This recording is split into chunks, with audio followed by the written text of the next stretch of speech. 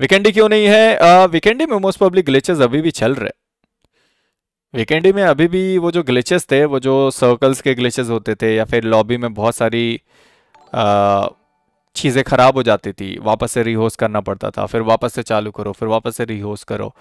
तो वो सिचुएशन वीकेंडी में शायद अभी भी सॉल्व हो नहीं पा रही।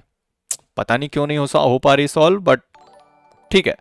होपफुली जल्दी सॉल्व हो, वापस से वीकेंडी देखने को मिले। क्योंकि मुझे लगता है बहुत ज़्यादा टाइम हो गया हम लोग वीकेंडी नहीं देखे। आखिरी वीकेंडी हमने कब देखा था?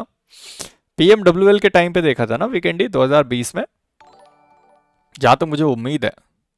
आखिरी बार हमने पीएमडब्ल्यूएल में देखा था वीकेंडी उसके बाद से हमने वीकेंडी को नहीं देखा। तो काफ़ी लंबा टाइम हो गया वीकेंडी देखे हुए। मोस्ट प्रोबेबली जल्दी आ जाएगा।